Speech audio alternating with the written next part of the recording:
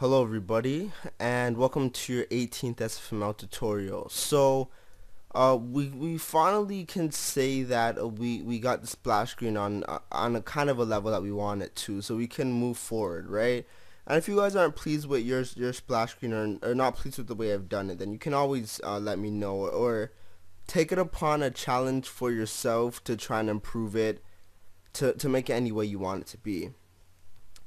Anyways, it's time to work on the title screen. So the title screen is going to consist of a menu, right? Or whether you want to call it main menu screen or whatever you want to call it, uh, it doesn't matter. Uh, but it's going to consist of a menu, right? So the options that we're going to have, or that I'm going to put, are new game, load game, options, credits, and exit. Okay, so the new game, obviously, it's going to be able to start a new game. Load game will check if they have any uh, load game files on there if there is then they can load um, from a from a checkpoint or previous save point. Options can modify game options like the the volume uh, for the sound effects or the background music or maybe some controls depending on what different options you want. Uh, the credits will be who you give credits to uh, so whether you want to give credits to me whether you want to give credits to your teacher or to somebody who provided you sprites or anything, anybody that you want to give credit to. It's always a good thing to give credits because, uh, I don't know, it's, it's kind of like a courteous thing to do, I guess. But it's really entirely up to choice, right?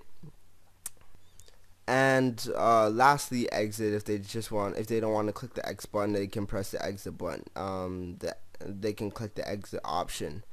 Okay, so what we gotta do before we even get into the main menu stuff, uh, we've got to add in something to the file manager class and that's what we're just gonna be doing this tutorial. So we're just gonna be modifying the file manager class.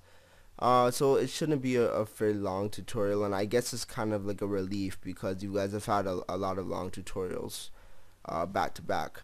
So what we're going to do is we're going to um, go to filemanager.h and copy and paste this and we're going to add one more option and it's going to call I be called ID.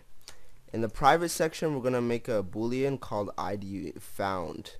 So let us open up filemanager.cpp and uh, what we're going to do is we're just going to copy all this right here because it's essentially the same we're just going to be adding one last thing to it. So we're just going to copy that and paste it.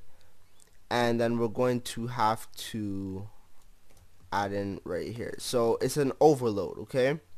So at the top right here, uh, we're going to say that ID found is equal to false. And that's before we actually check if the file is open and such. So what we're going to say is that if ID found, uh, then we execute the rest of this code, right?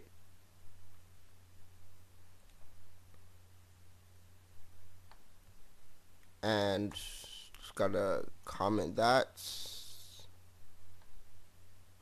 I mean indent not comment. Gotta indent that. So how are we gonna set uh, ID found equals to true? Well this is how we're gonna do it. Uh, we're gonna say we're gonna have two commands. So uh, let me open up the splash screen file. Okay so in our splash screen file we have load equals blah blah blah blah blah. Like everything we need to load right? And the way it is set up is it's good that like we have in everything that we want to load at once. The way our menu is going to work is like this. We're gonna have all the menus in one file since it's not a super huge game right? So we're not gonna have like and even super huge game don't have like they might have like hundreds of menus but I'm not sure but to be frank, we can we can handle all the menus in one file um, if it doesn't become too complicated. So how do we do this? With this method right here, all we're doing is just we're going to be loading in as much things as we specified to load, right? Well, what we're going to do is we're going to implement two different new commands, right? It's going to be start equals and end equals. So they're going to be followed by an identifier. So you don't even have to put the identifier in braces or whatever. But the reason why I put it in square braces is because uh, um, it kind of signifies something, whatever. But if you using the start equals and end equals command, you really don't have to I'll put them in square braces, right?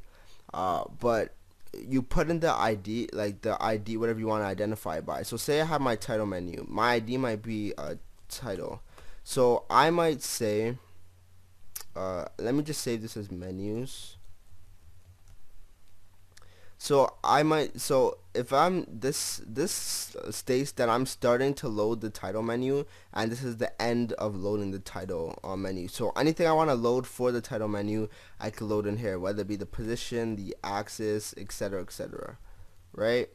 Etc etc and then say I have another uh, menu for like say a shop menu or whatever right? I can say end uh, in here and shop. So whichever, what it's to do is that it's to basically kind of be like, it's to parse, I don't know if that's the right word, but it's to scroll through our whole text file until it, oh it should be start, sorry.